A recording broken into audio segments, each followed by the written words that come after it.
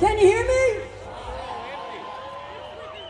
I can't remember how old I was the first time I had the experience of listening to this man and his band.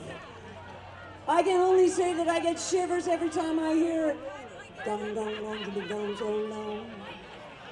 It's okay, Bill, your job is safe.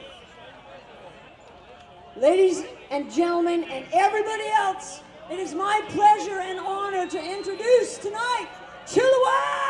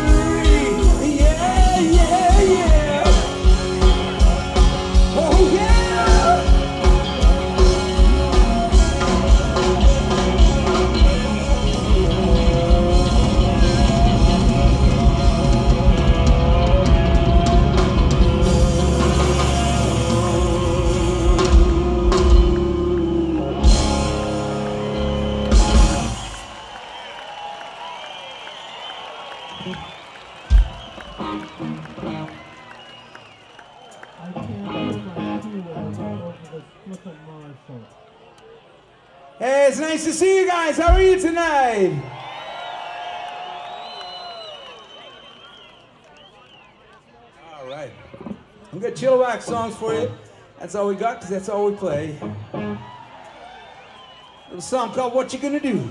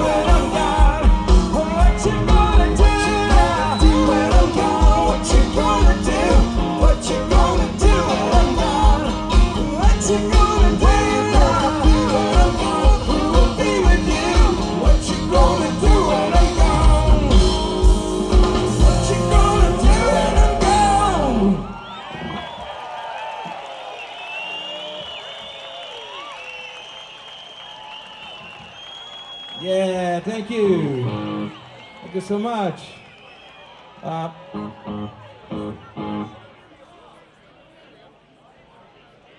hey. Chick grind. So, uh, we got some songs for you tonight that uh, some of them go back a little ways, I gotta say. You know, in all truthfulness, they do go back a bit. Yeah, and uh, this next one was uh, a song that we wrote about being down, uh, going down the United States to be in a rock band because that's what you had to do. That's what you kind of had to do in those days. But uh, that's changed. Starting about in the 90s, Canadian bands started to get a lot of support and started making it right around the world, right out of Canada. Pretty cool. A song called California Girl.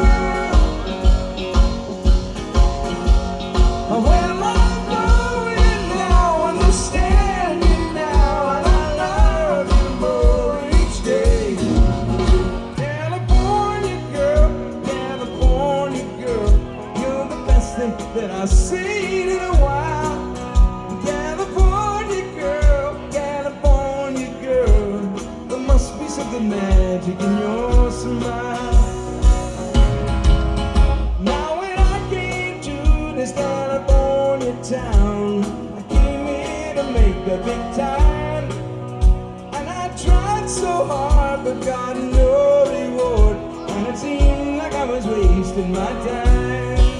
I was kicking around this lots of time, trying to pick myself up, instead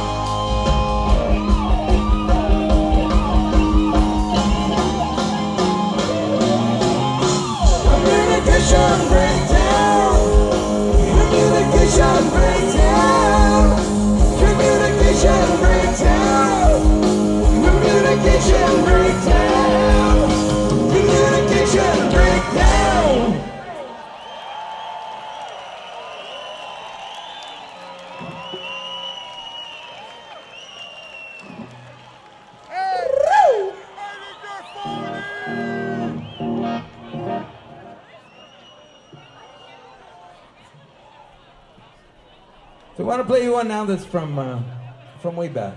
This one's this one this one was actually written in about uh, 68. And uh, it's kind of about you guys. So I hope you enjoy it. Yeah, yeah, yeah.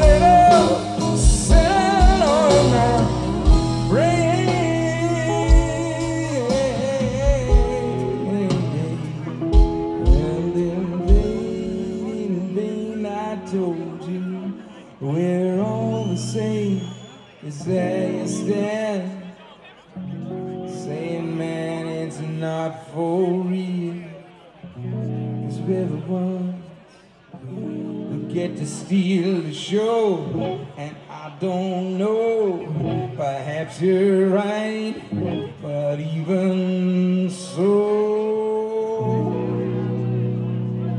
if there's no audience, you know there ain't. No, there ain't.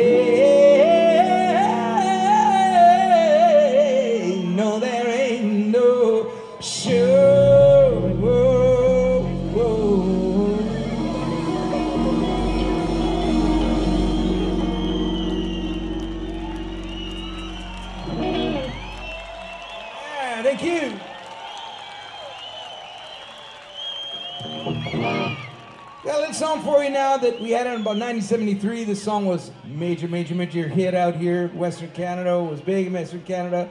Was number one in Little Rock, Arkansas. Huh? Huh? How'd that happen? I don't know how that happened. But uh, there it was, you know, and I was thinking about it. I was thinking, when when you got a number one song on a radio, it's like it's played like what is it, ten times a day, something like that on any station, any one station. A lot of play, a lot of play, a lot of play. I thought about 1973, Little Rock, Arkansas. There's a famous guy from Little Rock, Arkansas, Bill Clinton, right? Was the president of the United States. He was down there. I'll bet you he was articling then, you know, sort of learning his, his ropes as a as a lawyer or something like that. Something like that. And this song's playing all the time. I'm thinking to myself, ah, yeah, what kind of effect is this having on this guy, right? Is this for good or bad? What kind of effect? And you know, I don't know what he was doing at the time, but I know one thing he was trying to learn not to inhale. Uh, It might have helped him with that, right? A failed purpose, I guess, really. Anyway, this is an old song. It's a, it's an old, really an old folk song. It's called. Groundhog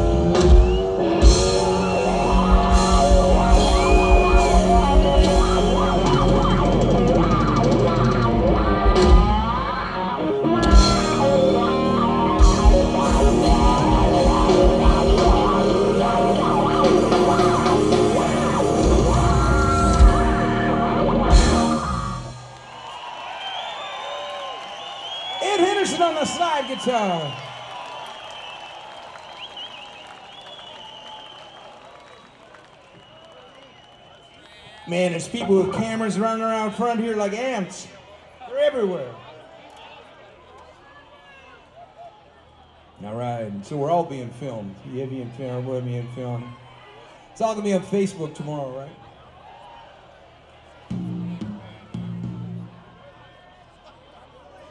All right, are you guys doing okay? Oh, that's nice. You feel kind of mellow.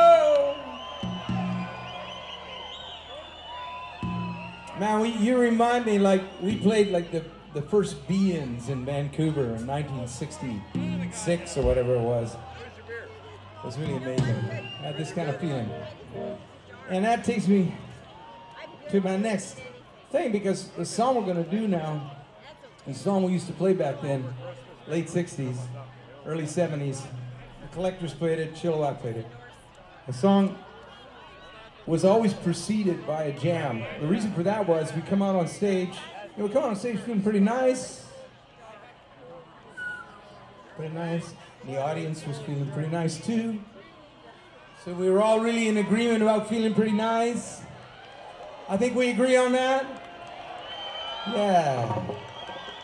Yeah, it was so nice. It was so nice that when we started to tune our guitars, and you know, we didn't have electronic tuners in those days, so we just tuned them by ear. And we found that we were tuning them, and they started, you know, even the tuning sounded great. You could just take it from there. So we never knew where we were going to go. We'd just start to play. And uh, we'd end up in a song like the one we're going to get to, but we never knew how we were going to get there. We just get there when we got there, right? And you can sing along, you can do whatever you want. It was very free, right?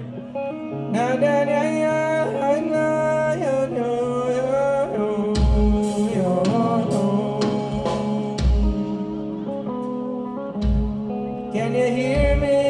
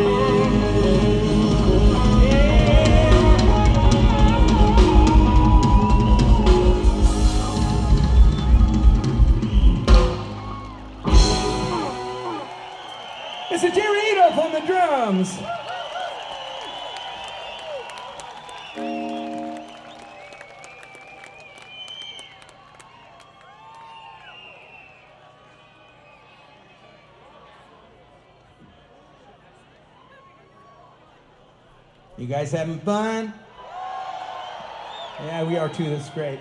Ah, it's nice to do. Nice, nice to play with you guys.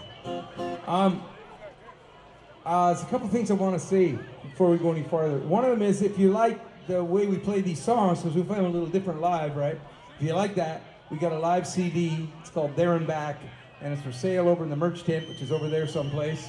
And uh, we took uh, performances from 25 different shows, put the best stuff together. There's posters in it and lots of a booklet, and it's a really nice package. If you're into that, that's great. Come and and and, and uh, see us after the show because we're going to come back over there to the merch stand and we'll sign stuff if you want stuff signed. Say hi, shake hands, that sort of stuff, right? So uh, we'll be there with that. There's T-shirts, there's drumsticks, there's a beautiful few acoustic, pure acoustic guitar CDs that Ed put together. So uh, yeah, come and join us there. Uh, I want you to know who these guys are because you know, like if you buy that CD and you get the poster and you look at the B side because it's two-sided poster, look at the B side, it's the Chilliwack family tree.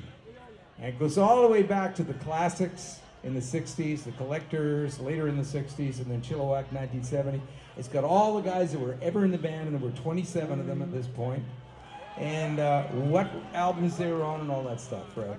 So, anyways, band's been around for a long time. I like to say we're on the sixth year of our 40th anniversary tour. Yes. And uh, it's great fun. So I want you to know who these guys are. The musicians in this band are top. They're just top musicians. They're great musicians. And uh, it's, a, it's really an honor for me and a, an incredible pleasure to play with them. On the bass, the man on the bass. He's got a great, great voice. He sings like a bird and he plays bass like wow. It's great, right? Gord Maxwell on the bass guitar.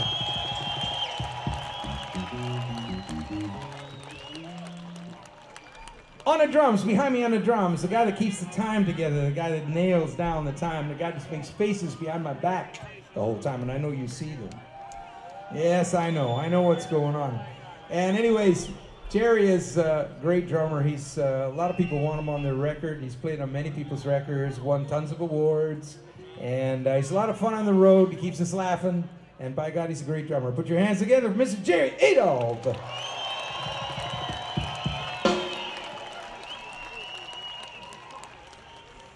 And there's a fifth member of the band. There's a fifth member. You don't see him.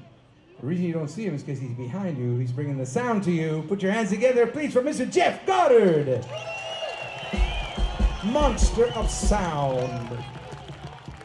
And on the guitar beside me, um, this guy's my brother. He's a little bit younger than me. And uh, we've been making music together as a family for a long time, just like a couple days a year, but we really enjoyed that. And uh, it's great to have him aboard for the last almost 20 years now. He's a composer and arranger, very, very skilled musician in many, many different ways. Tonight you're hearing his guitar playing and his singing. And now you're going to hear some really interesting guitar playing that he can do that is on the CDs over there that he's, that he's made. Uh, kind of an acoustic uh, fingerstyle technique. So uh, open your ears, put your hands together for Mr. Ed Henderson.